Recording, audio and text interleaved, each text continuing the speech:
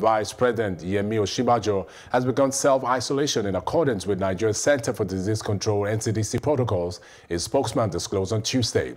Laolu Akande, Senior Special Assistant Media and Publicity to the Vice President, disclosed that Professor Osinbajo has begun observing social distancing. Osinbajo yesterday at the office conducted his meetings via video conferencing while observing social distancing. Laolu tweeted that the vice president will continue his work from the home office as he is in, in self-isolation in accordance with the NCDC protocols.